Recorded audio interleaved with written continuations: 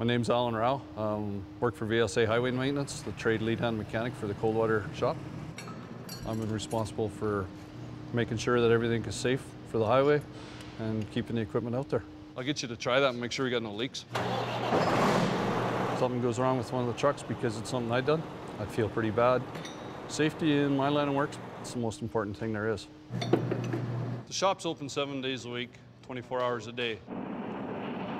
They'll do well over a thousand Ks in a day, so roughly every seven days in heavy snowing, they're in for major service of some kind.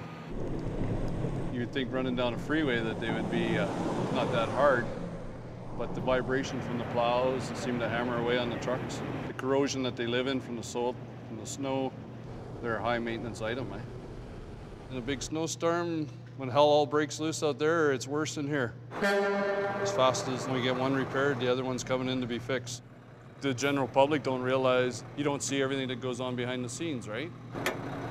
When you don't see a plow truck out on the highway, it doesn't mean that he's not doing his job. Maybe he's got a blown tire, maybe he's got a blown hydraulic line. Once in a while, things have got to break and things have got to get serviced, so in they come. I've been here for 25 years. One of the reasons I guess I take pride in my job is when I started being a young kid, is a lot of the guys would say, look at it as that's your family driving down that road. Do what you can do to uh, make sure they get home safe. And I've always kind of had that in the back of my mind, so nothing leaves the shop unless it's safe.